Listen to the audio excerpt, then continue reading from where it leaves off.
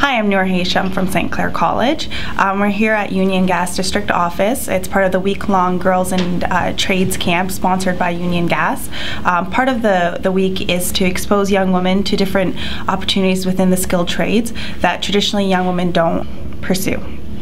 So part of the five-day camp is exposure into different fields such as construction, CNC machining, um, electrical. And today here um, we're at uh, Union Gas District Office. Uh, we've had some great feedback. The young women are really encouraged and um, excited to learn about these different opportunities. A few of them have already considered um, pursuing a skilled trades. It's a really cool experience to like actually like be hands-on and like actually like put something up like that I've never done before. It's really I really like using um, a wrench and I think it's a cool career to like go into. Um, I like it because it's non-traditional for females and like I like that it's like manual labor, it's hands-on. Um, not, not many girls do this very often and it's like people don't think that it's for a woman but it, it like it can be and we can do it just as good as a man.